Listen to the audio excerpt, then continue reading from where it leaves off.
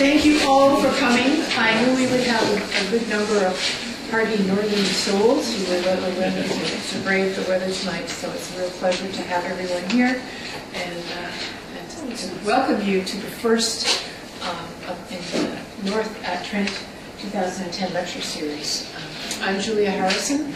I'm director of the Frost Center for Canadian Studies and Indigenous Studies, just across the way. And uh, we're one of the sponsors of the, uh, uh, the North Lecture Series this year, uh, along with the NIND Fund from the President's Office, and particularly the Roberta Bondar Fellowship Fund, which uh, I'll say a little bit more about in, the, in, in a moment. Um, so I'd like to acknowledge all, all of those. I'd like to thank uh, Traill College for their support, and I'd also like to welcome in particular our VP Academic Dr. joined us this evening. Uh, a few uh, things to look forward to. One, um, we will have a small reception uh, right here next door, so nobody has to brave the cold uh, uh, to get the building. We'll just open the, uh, the magic doors following the lecture. And Dr. Legat's book will actually be for sale. we have a few copies at the back if anyone wishes to buy them. But it, actually, you should appreciate the fact that it's a hot seller. Uh, the University of Toronto Press did, was out, Chapters was out, and we managed to find a few copies through Amazon. Wow. So, uh, congratulations uh, to you, uh, Elise. Many academics would like to say their books were actually hard to, hard to acquire through the press. Um, I particularly would like to acknowledge, uh, before I go any further, the work of Kathy Scholl, who's standing at the back, who's the administrative assistant for the Frost Center, who makes all of these things really happen in the end. So thank you, Kathy.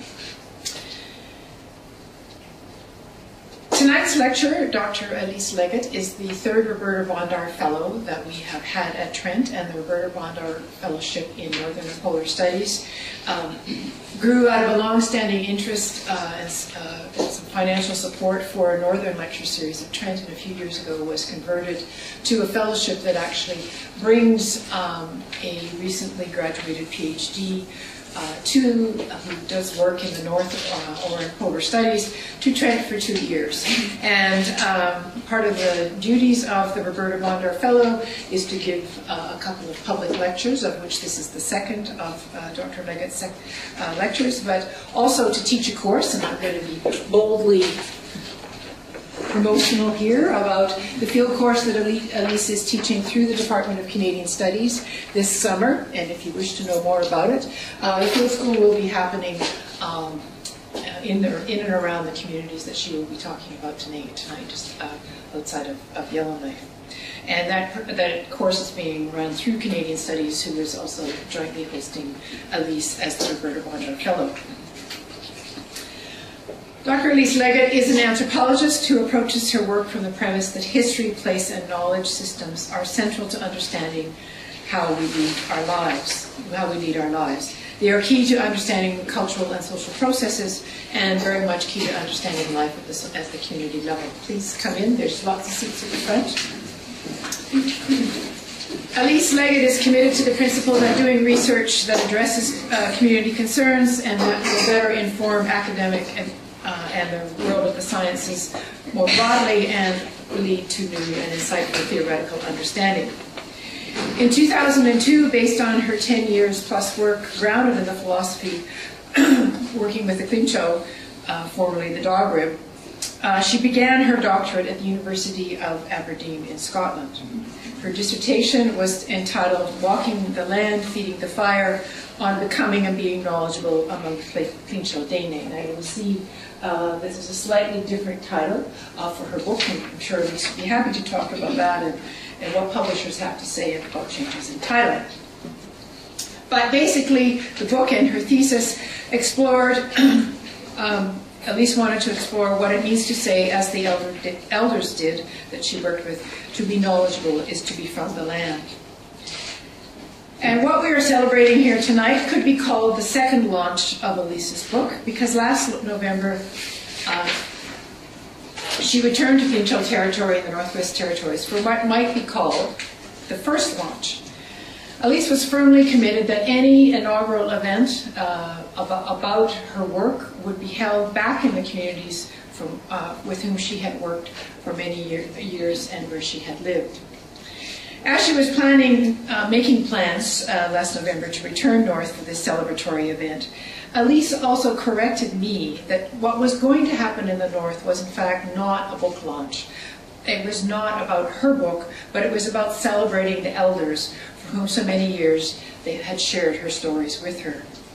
And based on what I heard of that event and the planning I observed uh, from her office in uh, Kerr House, Many in the north came from far and wide for such uh, an important event.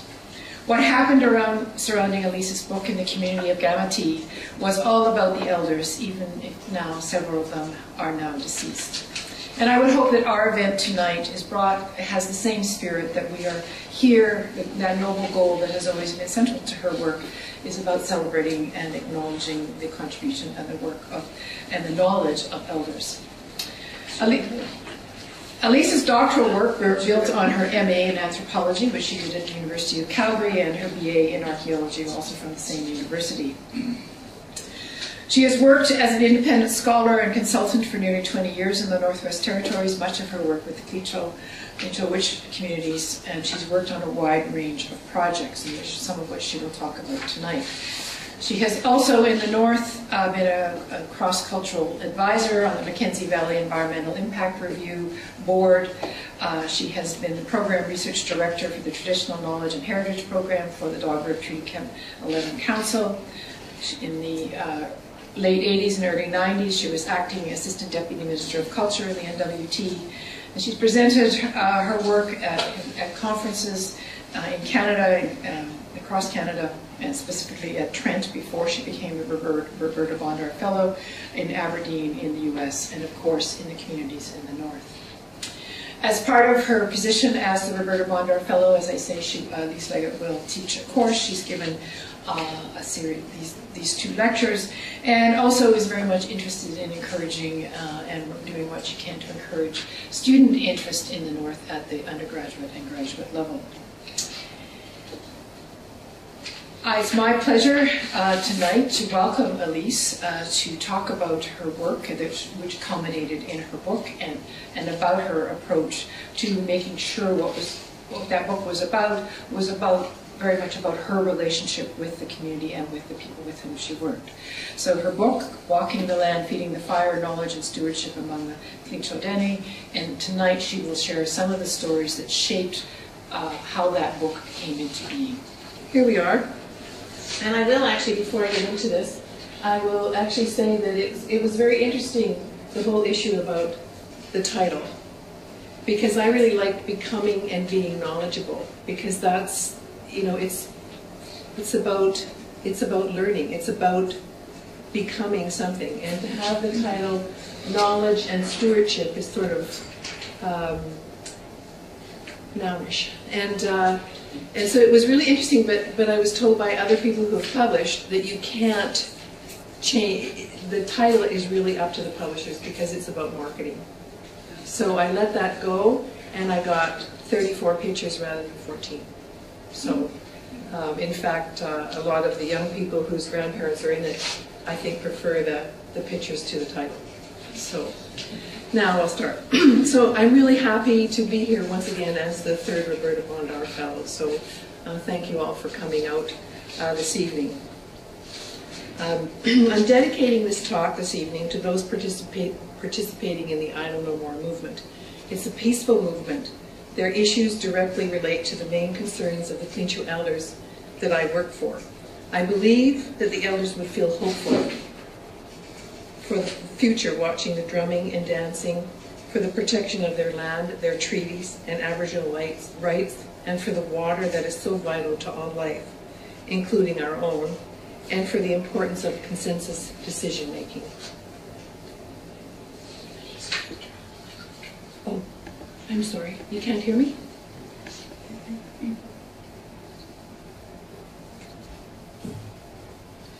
Okay, so tonight uh, I'm focusing on tension between generations in the community of Gamètì, a flying community of approximately 350 uh, people.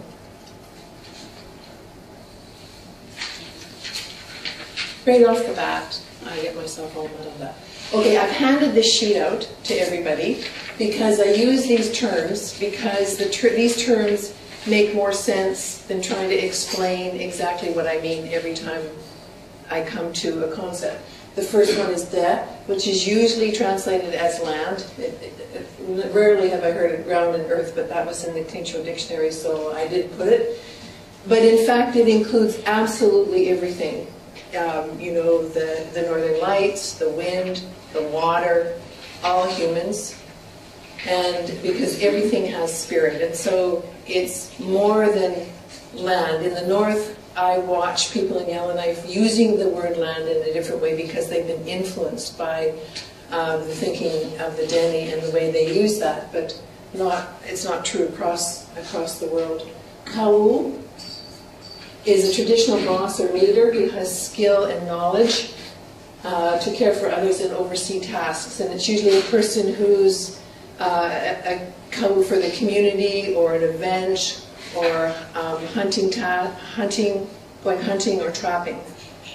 And they also use a word which I might use is, is kaute, which is a big boss. They're a person who has the ability and the knowledge and the skill to uh, care for larger groups of people and the knowledge. And these people often change given the tasks that they're, uh, that they're undertaking.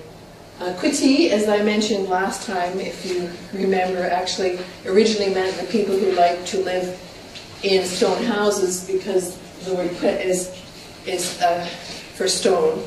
And nowadays, the younger people are using it, if you ask them what it means, the people who like to steal our rocks.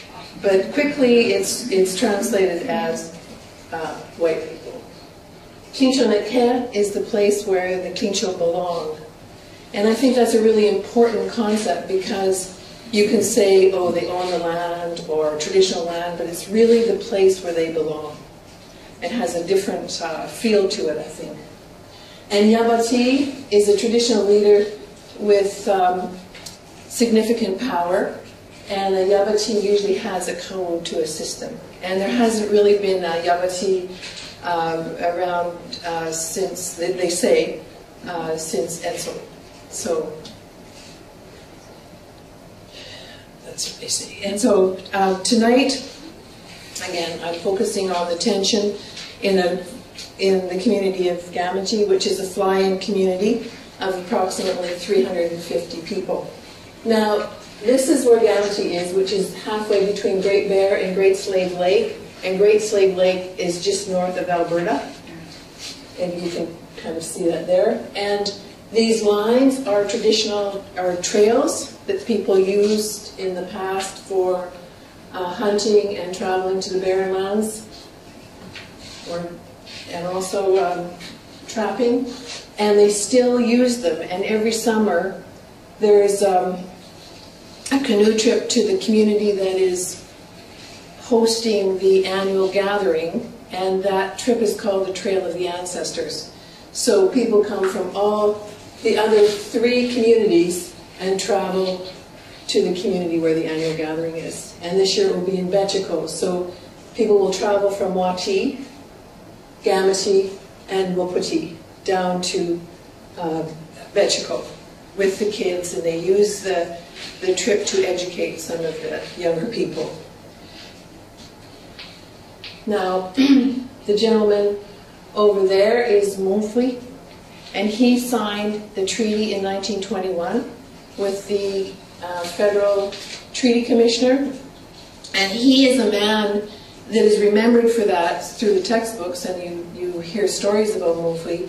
But when the elders talk about Monfwi, they also talk about him as a person who was knowledgeable and who liked to share his stories with the young people, and that was very important. He was seen, in fact, the elders wanted a trail of his, the Monfwi Trail, protected as a protected area. And It's a bit tricky to try to protect a trail as opposed to a place in Canada, but they're still trying, and they wanted to protect that trail because it represented his curiosity about learning more. He was, he was known as a young man and he kept going further and further on the trail so he could learn more and more about Tłįchǫ Nenke as well as the deaf. And he also took young people with him to travel on those trails so that they would learn and have the experiences that related back to their stories and their narratives. So, uh, Gamètì is the first place that I worked with the Tłįchǫ, where and where I launched my book, but only it was for, as Julia said, to celebrate the elder's voice. Before I describe the tension and the solutions arrived at through sharing stories, let me first tell you a little bit about how I came to work with the Tłįchǫ elders. Since I was very young, I knew I would go north. It was never, I don't even remember questioning it. When I first moved to Yellowknife, I worked for a nonprofit that brought young people together to spend time with the Inuit, elders, and scientists in the high Arctic. I then moved to the GNWT in Culture and Communication, where I chaired the Aboriginal Languages Committee and the Traditional Knowledge Committee. We made some headway. There are official Aboriginal languages in the NWT, and the GNWT has a traditional knowledge policy. However, they have a long way to go, and they have not changed since I was involved in that in the 80s. I mean, they've changed a little bit, and there's been some reviews, but they really haven't changed to uh, reflect what the people themselves want through the Aboriginal languages and the policy.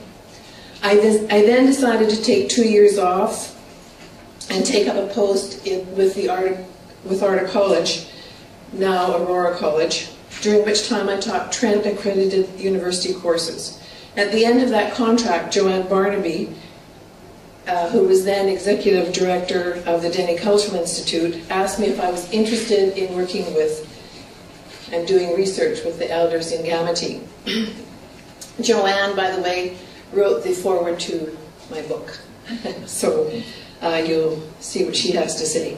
In December 1992, I went to Gamètì, attended a meeting, explained what I understood they wanted, and explained what I could and could not do, and also what I would and would not do.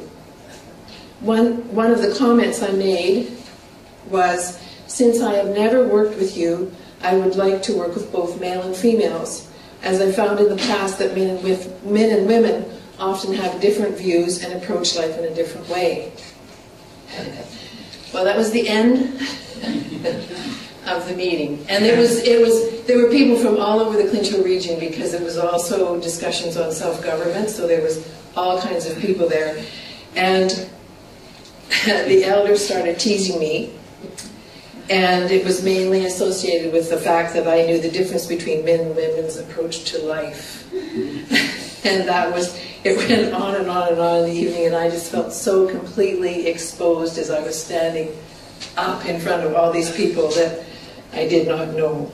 Um, but as time went on that evening, I came to understand that the, oh, sorry, as at time as time went as time went on, I came to understand that the elders from Gamètì remembered that as bureaucrat that as a bureaucrat I had gone to the minister uh, with the minister to their fall hunt at Kutsikati, the place where the Chipewyan and the Tłįchǫ made peace. And one elder, Joan Migwi from Behchokǫ̀, had been in a traditional knowledge slash science camp when my that my son, my eight-year-old son went to in 1988. Apparently, Joe Migwi, who was in Gamètì at the time of the meeting that I'm talking about, where they were all teasing me, um, remembered me and that I dropped my son off and picked him up, and he remembered my son. And he told the elders that my son could listen to the elders, and that he actually liked to watch them rather than asking a lot of questions. And therefore, as a mother, I may be okay to work with their children and grandchildren.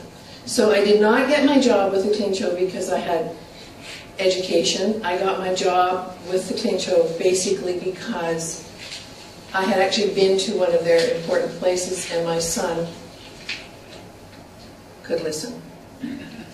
So I'm indebted to my son for the next 10 years of my life.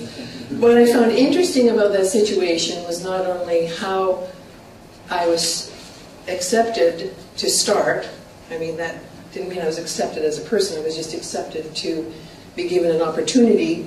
I found it interesting that, that in that situation, my son has a different last name than I do. But they remembered me from some of the meetings I attended and from my son.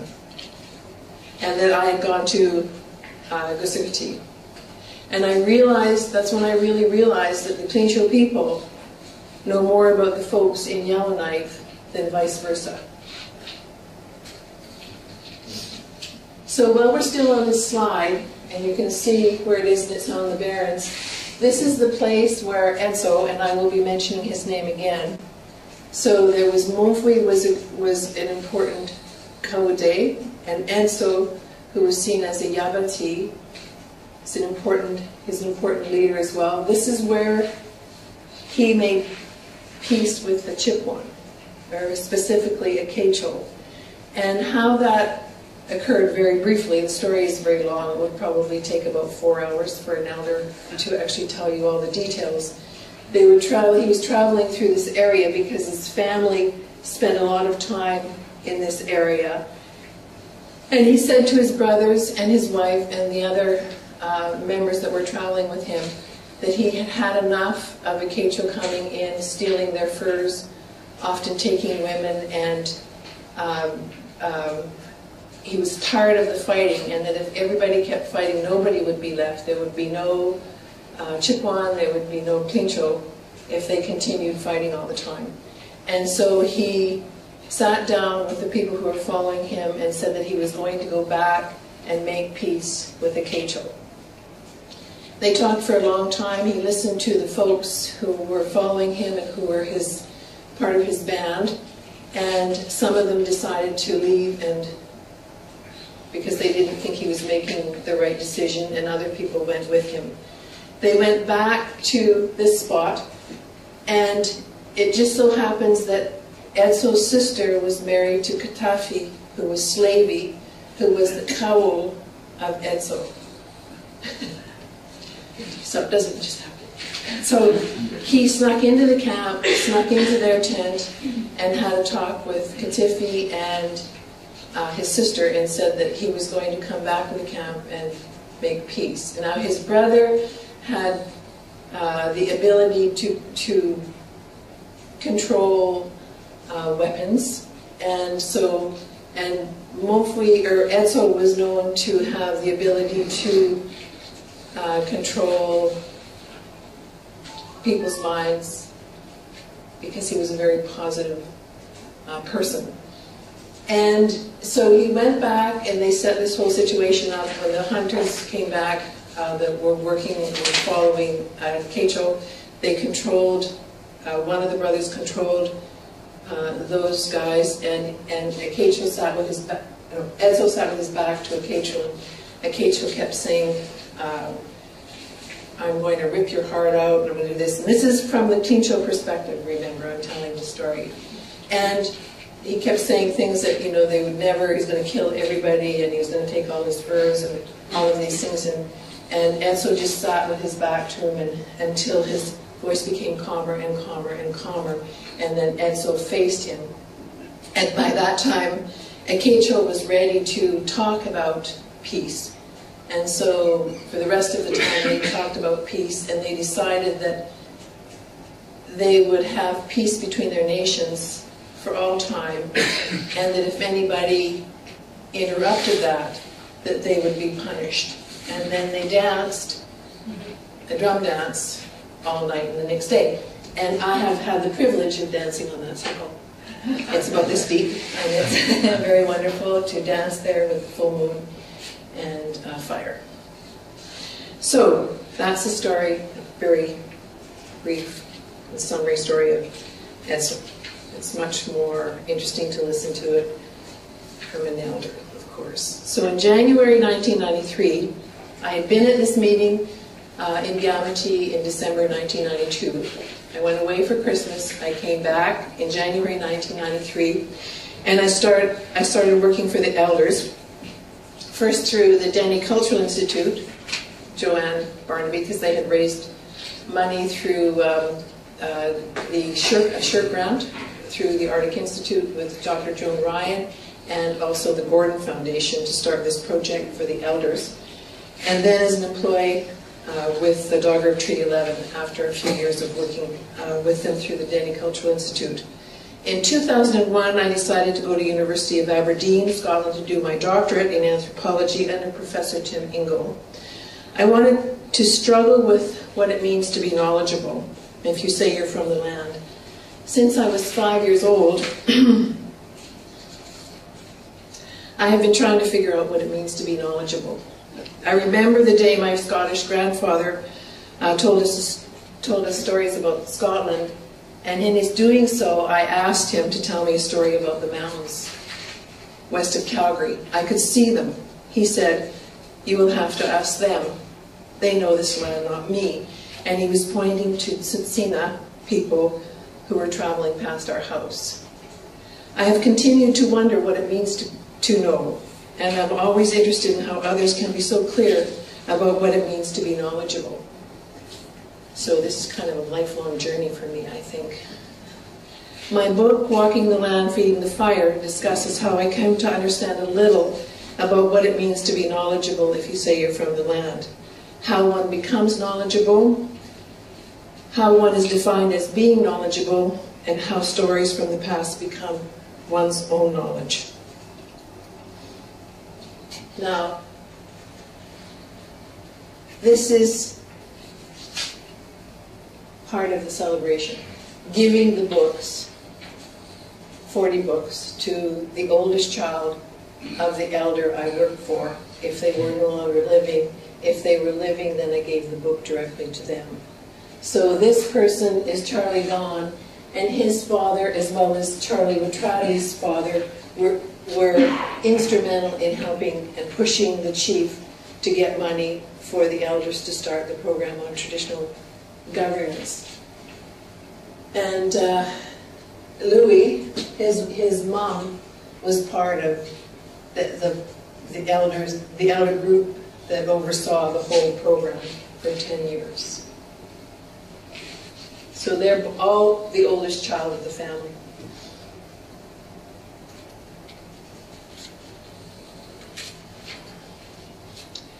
I wanted to celebrate the elder's voice. Celebrating the elder's voice uh, was supported by Joanne Barnaby. That's Joanne there.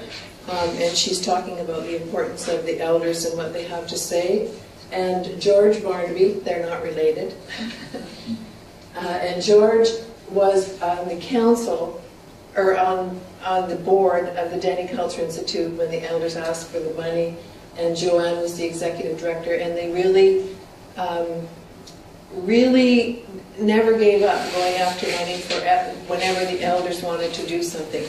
Those two were, uh, and George lives in the Sahtu, which is quite a bit further north. It's around Great, Great Bear, and Joanne lives in Hay River. Rita also spoke to the importance of the elders' voice, and Rita was one of the first researchers, community researchers that the elders hired in 1993.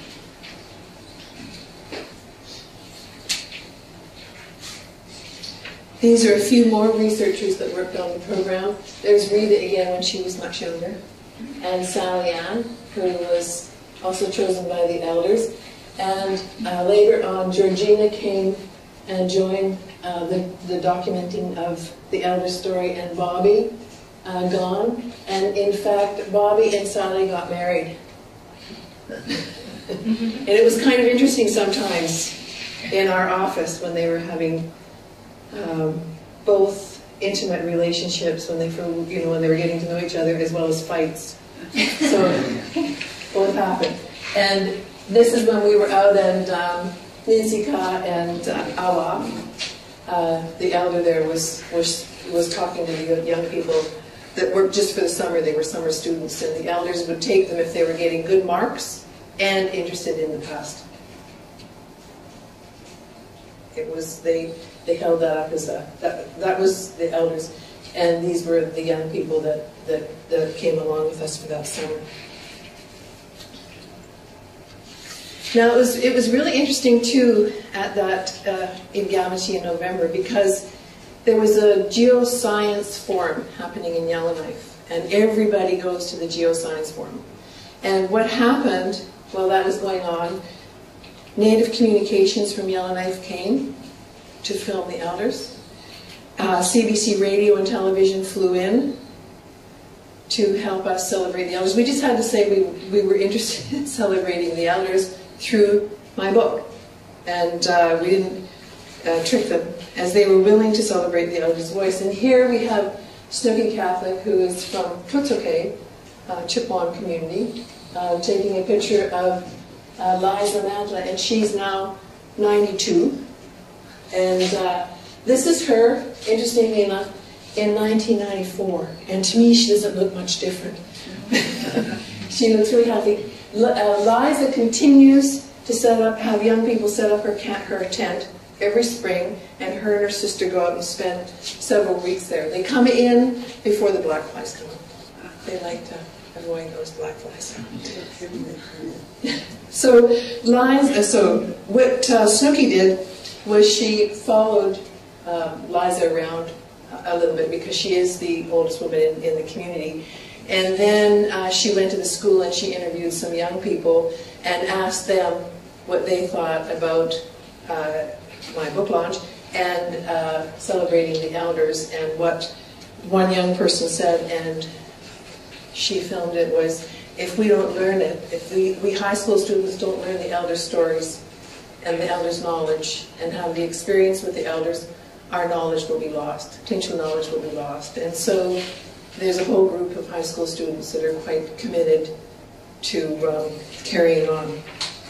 And if you're interested in what she did, it's on uh, North Beat, CBC North Beat. It's still there. Now, several CBC radio called me in, in Gamètì several times and really wanted me to talk about my book. And uh, so it was it was interesting to get them to start thinking about, about the elders rather than rather than the book. And they kept asking me why I launched my book in Gamètì. And I said the same thing as I was I've been saying to you is I started working there. It was the first place I worked when I worked with Tłįchǫ, and I spent most of my time working with Tłįchǫ in Gamètì. And this is true. However, it is also true that I love them. I love them for pushing me to think in a different way about what does it mean to be knowledgeable. I love them because they were not afraid to show affection and expected me and the other researchers to share our own personal experiences so they could learn from us. They had expectations of us to give as much as we got from them. Now, Did I just miss one? Oh, here it is.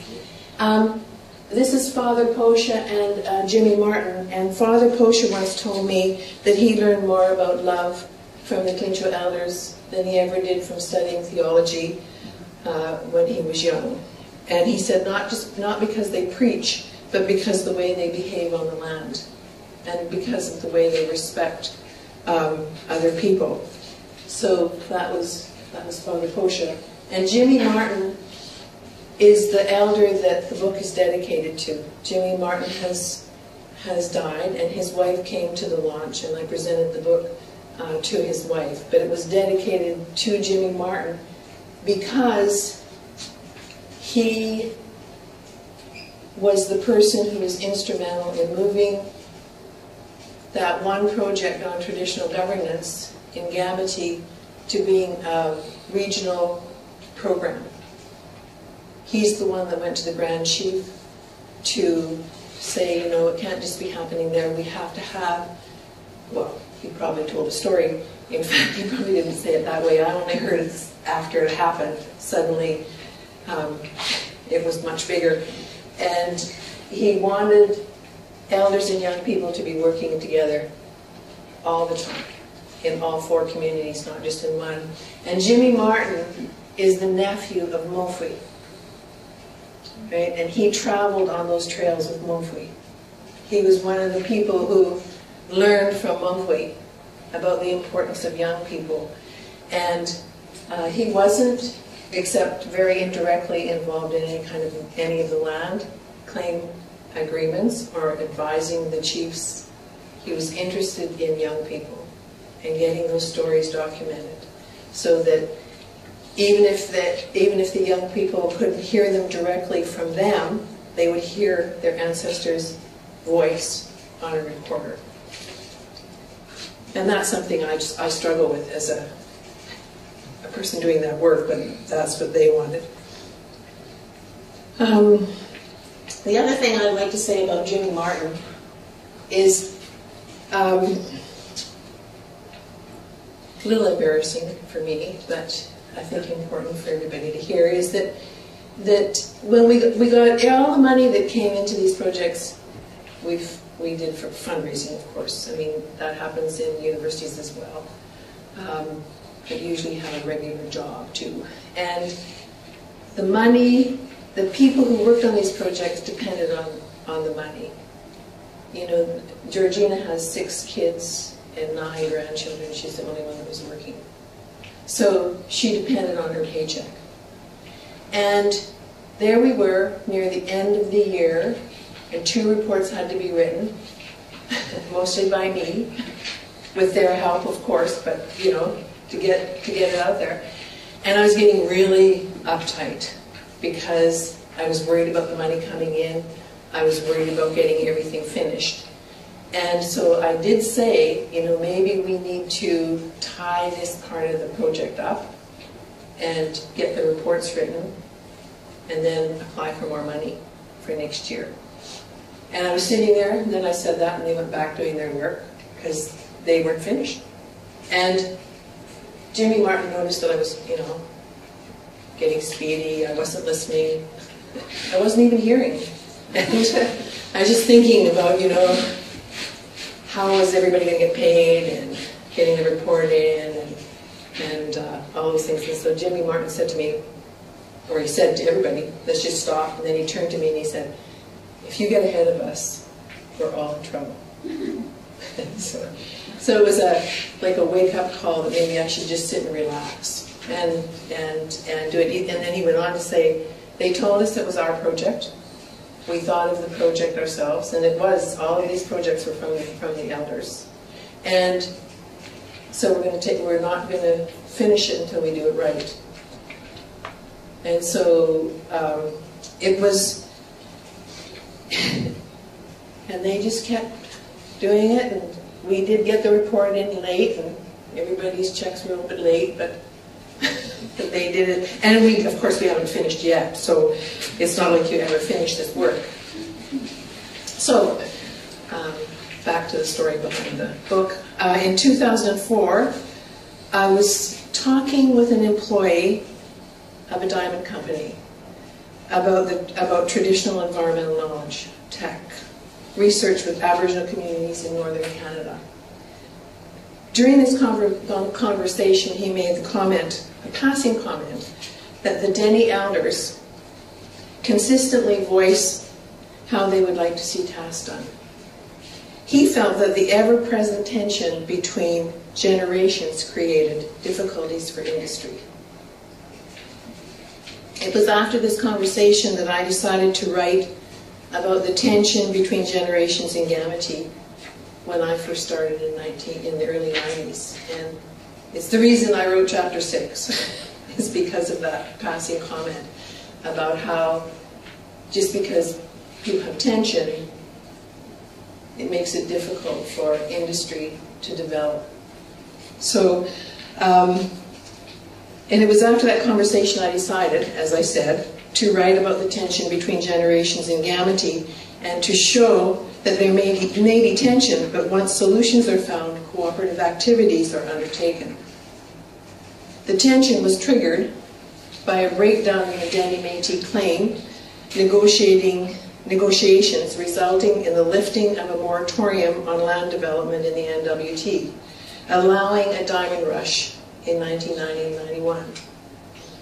The, the, the situation in Gamètì helped me to understand the importance of consensus, honoring agreements, respect, and who has the most skill and knowledge to lead an activity and protecting the environment, and how important the elders are in guiding the younger in situations like this. Over the years, I watched Tłįchǫ people consi carefully considering who to follow when thinking about the task that needs doing. They did this whether was, they were leading a hunting or trapping crew, negotiating a land claim with traditional and federal government, or finalizing an impact and benefit agreement with industry. In this case I describe here, the task was to maintain personal autonomy while reestablishing self-determination through land claim through the land claim process in the context of an intense diamond rush. Let me give you a little more background. The Dene Métis claim negotiations in the NWT had been underway for nine years before the federal government withdrew. That was between 1981 and 1990. In 1988, the Dene Métis Secretariat and the federal government had an agreement in principle. In April of 1989, approximately 24,000 uh, miles of land were withdrawn for protection from development pending land selection through the land claim process. In 1990, the Dene Métis leadership took a, a complete, comprehensive Dene Métis land claim. The Dene Métis, it gets, after you say it eight times, it gets a little tongue-tied. They took the agreement forward for ratification at the joint Dene Métis Assembly. But the agreement was not ratified. Rather than a ratification, a, a resolution was to negotiate, went to the negotiating team. It called for renegotiations of several portions of the agreement and, a possible, and possible court action to reinforce Aboriginal and treaty rights by the federal government. Representatives from the Gwich'in and Sahtu Dene opposed the motion, and therefore they withdrew from the process and initiated steps to negotiate a re regional claim with the federal government for themselves they were interested in, in getting, getting it finished. In November 1999, the federal government informed the Dene Métis Secretariat that they would no longer negotiate with them. The land freeze was lifted. Soon after, the soon after, the diamond rush began. So they lifted, and then all of the uh, prospectors came in. So much of Tłįchǫ Nèèk'è was staked. Prospectors laid claim to land with little consideration for the people who lived there. At the time, um, and, and, and during that time, when there was that intense diamond rush, there was actually people, prospectors, staking land adjacent to people's houses in the communities. So here we have uh, and here we have the steak. So, you know, it looks different. And this gentleman, Pierre Manco Jr., um, he's 92 now, but um, during this whole process, and after we had started the project, he came in and he asked us to go with him. Uh, he wanted to take us to this island. And uh, so we hopped in his boat and we thought we were going out for a picnic for, for a little while. And so uh, Rita and Sally, the one who fell in love with Bobby, and, uh, and I went with Pierre and he took us to this island. It was probably about an hour trip uh, down the lake. And he, we got out and he walked over to a tree and there was a little metal plaque there. And it was a, it, it was, that island was claimed it was staked. And he looked at, at me, and it was translated, and he said, Where do I take my family now? What do I do? And he looked so dejected and he looked so sad, and like I'll never in my life forget the look on his face when he asked that question, and when I had already seen what was happening with that diamond rush. I mean, just complete um, unawareness of they were on land, Tłįchǫ Nèèk'è, the place where the Tłįchǫ belonged. So, and and the nice thing about me here, he kind of looks sad right there, but you know that's because he's really old. He continued to have his humor. He continued to dance. He continued to tease people, but he kept asking, "Where do we take our families now?" I mean, of course, people say to him, "Well, it's a free country. You can take them anywhere," but that was his family's place. It was where they, when they were traveling up and down in Nantilly, the road between Great Bear and Great Slave Lake, where they would always stop when they got got around Gamètì, before there was a community there, for hundreds and hundreds and thousands of years. Where do I take my family? That's where we belong.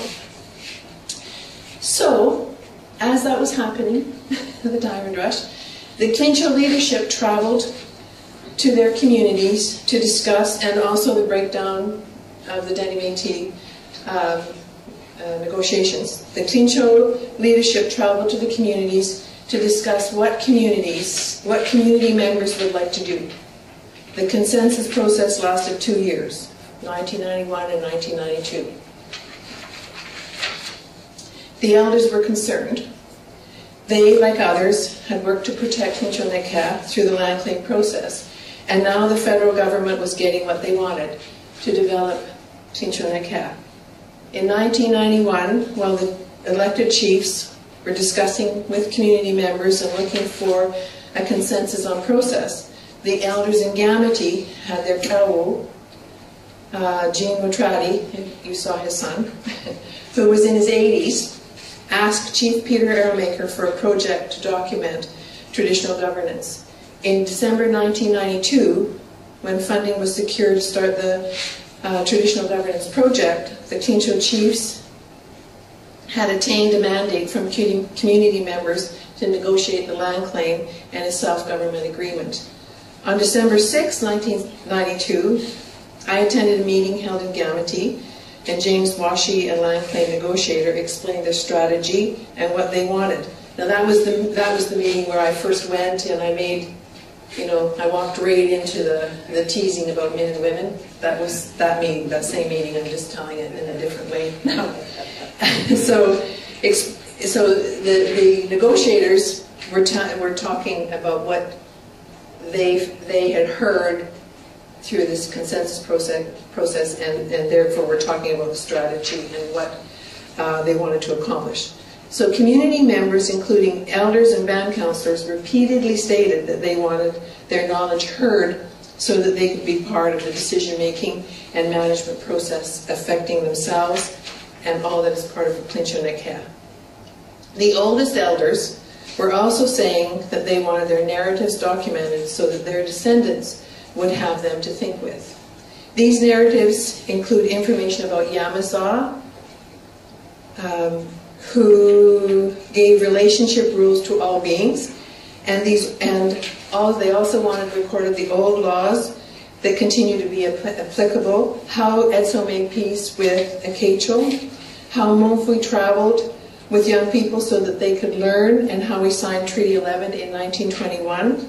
How mining uranium at Rayrock, which is uh, just located south of Gamètì, it was a uranium mine in the 50s, caused destruction and disease, and continued to pollute the water. How federal legislation affects Tłįchǫ lives. How Justice Berger had the ability to listen, resulting in a pipeline moratorium. It was evident that the elders were particularly concerned over the protection of water, as all life depends on water. After a few hours of discussion, the newly elected chief, Henry Gaughan, announced that the Tłįchǫ elders would oversee the recently funded traditional governance project.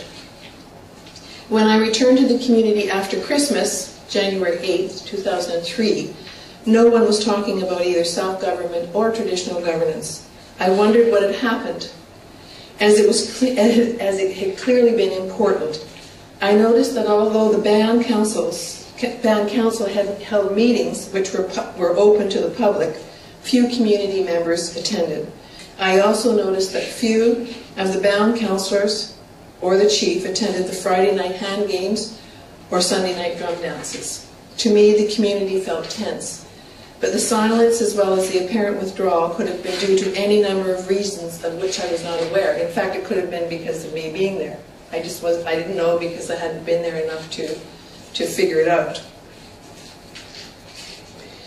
I spent my time visiting and listening, and after two weeks, I happened to be visiting Jean Matrati with Therese who's the lady right there.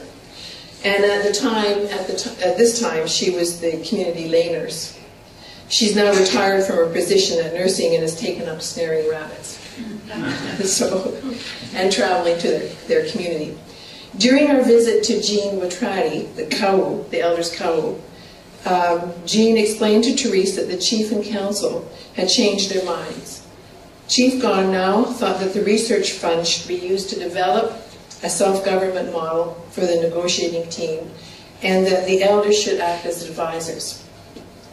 The elders themselves Jean explained, still wanted their own project to ensure that the Tensho and the deaf would be cared for in the future. If the young people didn't have the knowledge of everything and why the Tensho was important, then they wouldn't have the information or the knowledge to protect it. They were looking for ways to continue guiding young people in the future. They wanted their descendants to have the information car- carried in Tłįchǫ narratives and knowledge that comes from experience associated with those stories. They wanted the young people to be able to think. Interestingly, interestingly the tension was focused around Kaul, Jean Matrati, and Chief Henry Gone. And you have to remember that the Kaul was a traditional leader who was selected and followed because of his ability and his knowledge and his, and his ability to task. The chief is an elected position, and chiefs are defined through the Indian Act. Now that they have their Tłįchǫ land uh, claim and self-government agreement since 2005, it's defined there. But at that time, it was defined through the Indian Act. So the, the tension was focused between Kawu Jean Matrati, the eldest Kawu, and Chief Henry Gong. And whether or not the elders should act as advisors or Kawu who teach and guide young people. The elders told stories of Yabati, the big leader with special abilities, Kawode, all of whom had, who had learned from their elders and whose greatness had to do with the ability to lis- listen to those who followed them and to act on what needed to be accomplished. The elders emphasized how Yamazo and his brother learned from their grandfather, listened to people during a time when all beings were the same and established social rules. Similarly, Edzo had learned from his father, experiencing and listening to others discussed the problems, and then created peace with the Kecho. Monfwi had learned both from his father and his uncle, listened to the people, his uncle and bishop, and listened to the bishop too, and then made a peace agreement with the federal treaty commissioner. And Edzo, Yamazo, and Monfwi are seen as having ended periods of chaos. They had the intelligence and, and skill to rebuild harmonious relationships. Both factions told the same stories to encourage community members to think about the role of the elders and whether or not the research fund should be used for traditional governance or developing a self-government model. They emphasized different aspects of living life in the right way. At time, as time passed, more community members spoke about the importance of elders documenting the stories and spoke about the importance of supporting the negotiators who should have the elders to advise them as they developed a self-government model. And appreciate that this whole process, even though they were using stories, was a consensus, was, was building consensus in the community. It wasn't sitting around a table. It was happening in their homes, and out of the hunting camps and everywhere. They were, they were talking about it. So these are the elders that were involved in this. They're missing Andrew Gone and Jean Watrati because they had passed on. So on February 28, 1993, Jean Watrati announced at church that a feast for the elders would be held at his home. Jean asked Therese to come and bring me. 28 of the 30 elders attended, while other members of the community, children and adults dropped in, sat, listened for varying lengths of time. Andrew Gons spoke for the first spoke first, explaining the issue that needed discussing. And since Jean Watrati was involved, it would have been inappropriate for him to speak first, because he was part of the of the, the tension. So Andrew Gone uh, spoke first. Then each of the elders spoke.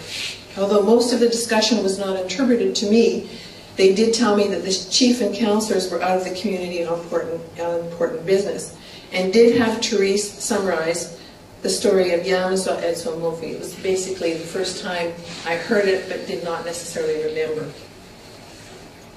After a lengthy discussion, during which they continued to use narratives to make their point, the elders concluded by saying that the four oldest elders in the community, Marie Zo, who is right here, who was, I don't know if you remember, Louis Zo, he was the smiling one I was giving uh, the book to, uh, Madeline Drymaker, right here,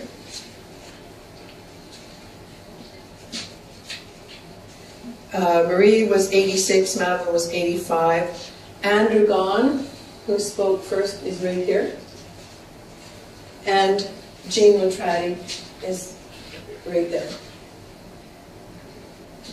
And they were both 83 and 84. Would direct the traditional governance project, and they would invite the chief to sit with them. Now, I'm just going to take it a little aside again. This particular picture um, I put here because it's really important that you go to the person who know who has the most knowledge whenever you're trying to understand something. And Rita, and this is Belinda, her daughter, who now has two children. And Rita asked a question to Marie, and uh, Madeline during one of when we were sitting around having coffee at Madeline's or tea, and she asked a question, and, to, and I cannot remember what that question was, but it doesn't really matter. And they said to her, "Well, you'll have to go and ask Mona." Because she was there and she was older. She was 103. These guys remember are in their 80s. But you have to go to Mona to find out the truth. So so we did. Yeah, so they had heard the story, but since she was still alive, they wanted to hear it. They wanted her to hear it straight from her. And so, um, so, so the next time there was the annual gathering in Bukoti, we we went to visit to visit Mona, and then Rita also found out that she was related to, to Mona. So it was it was kind of a nice a situation. But the point is that you have to go to the oldest person. so, back to the issue in, in the community. They then, oh yeah, so there we were sitting in Jean Watrati's house. They selected the four oldest elders, and then they turned to me, and this was after several hours. They, you know, this this took all evening. And then they turned to me and explained my responsibilities. I was not to write anything down. Now, you have to remember my training, in spite of the fact that I got the job because my son could listen, my training is anthropology. We write field notes. Without our field notes, we feel like we're not doing our job. So they asked me not to write anything down. And I honored that. So I had to find other ways to remember. I mean, I did write, sometimes I did write notes down, but also most, a lot of the stuff was recorded. So um, that was okay, but I had to actually listen and I had to find ways to remember. It was very interesting because when I actually wrote my dissertation, I forgot lots. And it was almost like the act of writing, you lose your, you lose your memory. It's a very interesting experience for me. But I had to sit and pay attention to how these elders remember everything. And they remember by telling stories over and over and over again and adding their own experience to the story so that it becomes theirs. And so I had to, if I wasn't, I mean, I did in fact share what I was experiencing with others, and they didn't mind that, but I also played it over in my brain so that I would remember it. I told myself stories. I made myself listen to myself about what I experienced. But it also meant that I had to get out of the house. Because I couldn't be doing field notes all the time, so I had to get out of the house and actually share what I was experiencing and, and be honest about that. Like what I was struggling with and, and what was confusing me. So, they told me I couldn't write anything down until they gave me permission. I was to train people of their choice in the skills I had learned from university. Now, Rita and Sally both had about grade three education. So, um, but you know what? They knew the stories and they could think. And I'll tell you, I would rather work with people who know how to think than know how to read and write. That's another thing that I, that I learned of that. And that doesn't take away from reading and writing. I'm just saying that it's, it was an honor to work with people who could think. Um, so that was two things. I was to oversee the taping of the stories to make sure it was done properly. And I and the community researchers they chose were to ensure that they were not translated.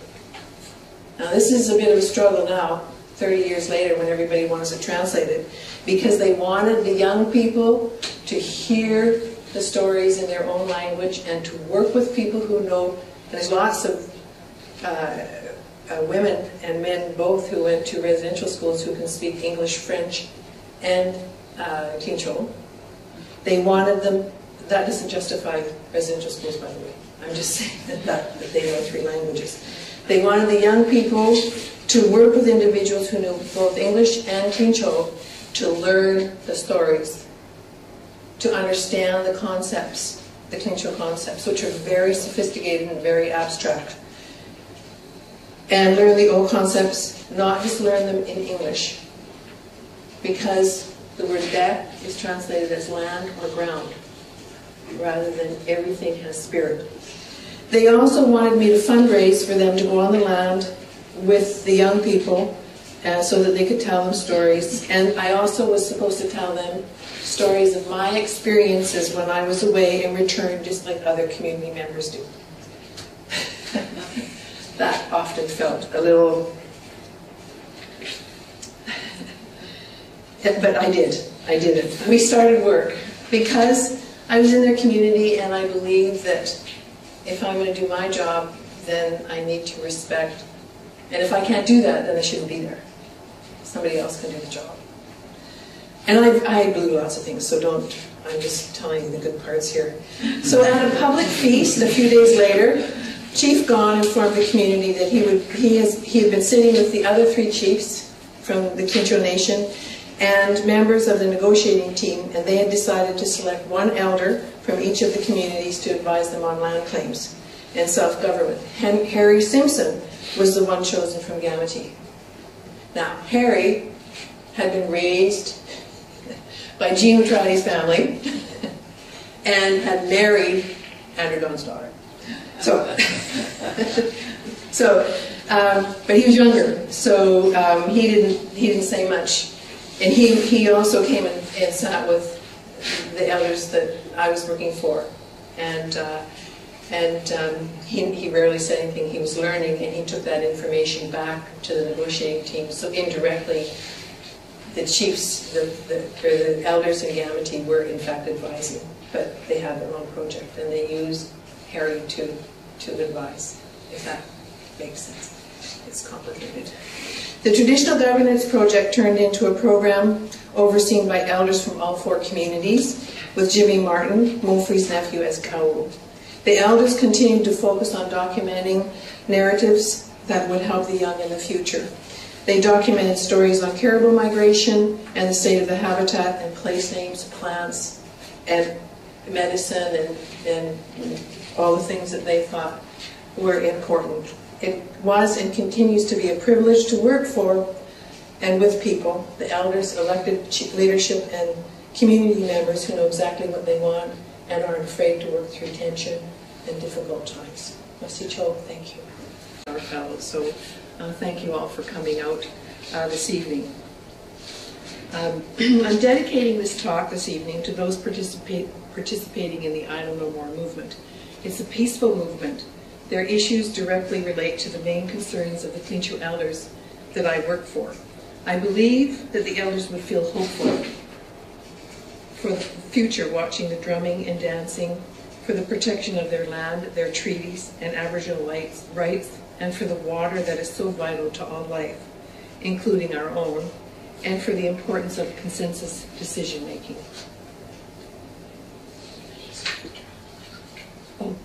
I'm sorry, you can't hear me?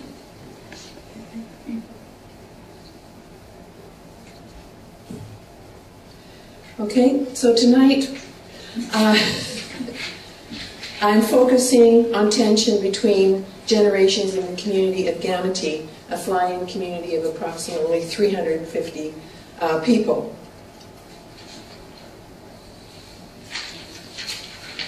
Right off the bat, I get myself all muddled up. Okay, I've handed this sheet out to everybody because I use these terms because the tr- these terms make more sense than trying to explain exactly what I mean every time I come to a concept. The first one is de, which is usually translated as land. It, it, it, rarely have I heard it ground and earth, but that was in the Tłįchǫ Dictionary, so I did put it.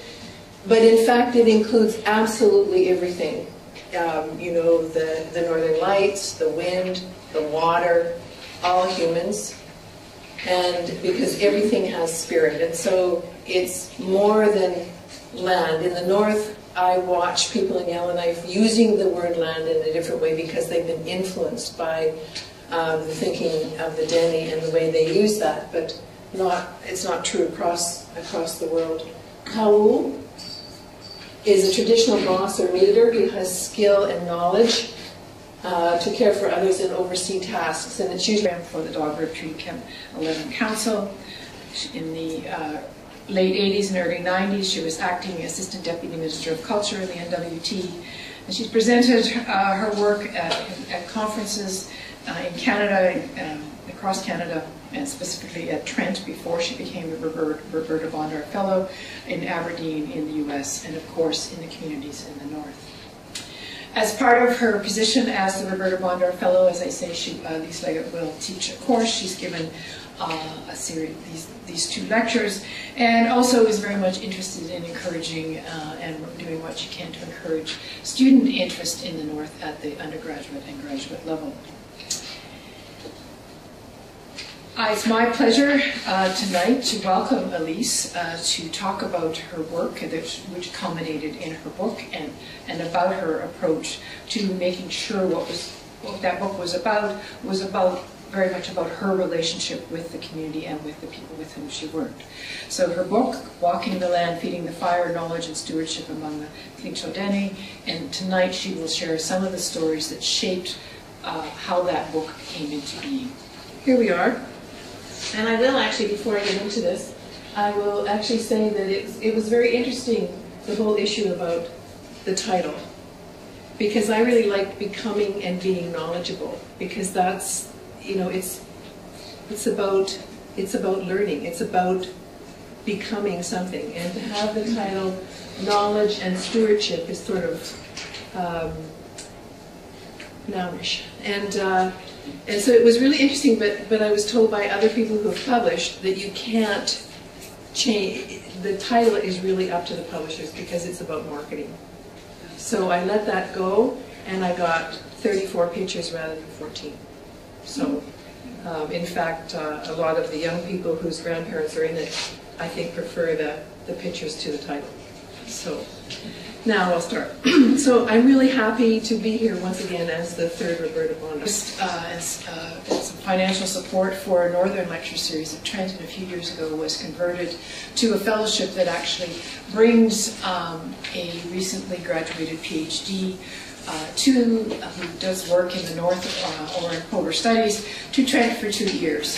And um, part of the duties of the Roberta Bondar Fellow is to give uh, a couple of public lectures, of which this is the second of uh, Dr. Legat's uh, lectures, but also to teach a course, and I'm going to be boldly promotional here about the field course that Elise is teaching through the Department of Canadian Studies this summer. And if you wish to know more about it, uh, the field school will be happening um, uh, in, the, in and around the communities that she will be talking about tonight, tonight just uh, outside of, of Yellowknife. And that, that course is being run through Canadian Studies, who is also jointly hosting Elise as the Roberta Bondar Fellow. Dr. Elise Legat is an anthropologist who approaches her work from the premise that history, place, and knowledge systems are central to understanding how we lead our lives, how we lead our lives. They are key to understanding cultural and social processes and very much key to understanding life at the, at the community level. Please come in. There's lots of seats at the front. Elise Legat is committed to the principle that doing research that addresses uh, community concerns and that will better inform academic and, uh, and the world of the sciences more broadly and lead to new and insightful theoretical understanding. In 2002, based on her 10 years plus work grounded in the philosophy, working with the Tłįchǫ, uh, formerly the Dog Rib, uh, she began her doctorate at the University of Aberdeen in Scotland.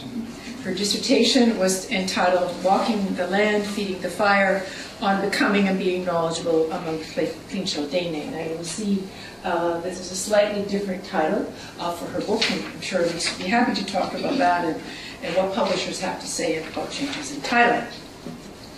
But basically, the book and her thesis. Thank you all for coming. I knew we would have a good number of hardy northern souls who were willing to brave the weather tonight, so it's a real pleasure to have everyone here and, uh, and to welcome you to the first um, in the North at Trent 2010 lecture series. Um, I'm Julia Harrison.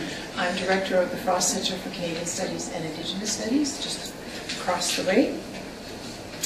And uh, we're one of the sponsors of the, uh, the North Lecture Series this year, uh, along with the NIND Fund from the President's Office, and particularly the Roberta Bondar Fellowship Fund, which uh, I'll say a little bit more about in, the, in, in a moment. Um, so I'd like to acknowledge all, all of those. I'd like to thank uh, Traill College for their support, and I'd also like to welcome in particular our VP Academic Dr. Flora uh, to joined us this evening. Uh, a few uh, things to look forward to. One, um, we will have a small reception uh, right here next door, so nobody has to brave the cold uh, uh, to get into the building. We'll just open the, uh, the magic doors uh, following the lecture. And Dr. Uh, Legat's book will actually be for sale. Uh, we have a few copies at the back if anyone wishes to buy them. But it actually, you should appreciate the fact that it's a hot seller. Uh, the University of Toronto Press did, was out, Chapters was out, and we managed to find a few copies through Amazon. So, uh, congratulations uh, to you, uh, Elise. Many academics would like to say their books were actually hard to, hard to acquire through the press. Um, I particularly would like to acknowledge, uh, before I go any further, the work of Kathy Scholl, who's standing at the back, who's the administrative assistant for the Frost Center, who makes all of these things really happen in the end. So thank you, Kathy. Tonight's lecturer, Dr. Elise Legat, is the third Roberta Bondar Fellow that we have had at Trent, and the Roberta Bondar Fellowship in Northern and Polar Studies um, grew out of a long-standing interest, explored, um, Elise wanted to explore what it means to say, as the elder elders did that she worked with, to be knowledgeable is to be from the land. And what we are celebrating here tonight could be called the second launch of Elise's book, because last November, uh, she returned to Intel Territory in the Northwest Territories for what might be called the first launch. Elise was firmly committed that any inaugural event uh, about, about her work would be held back in the communities from, uh, with whom she had worked for many year, years and where she had lived. As she was planning, uh, making plans uh, last November to return north for this celebratory event, Elise also corrected me that what was going to happen in the north was in fact not a book launch. It was not about her book, but it was about celebrating the elders for whom so many years they had shared her stories with her. And based on what I heard of that event and the planning I observed uh, from her office in uh, Kerr House, many in the north came from far and wide for such uh, an important event.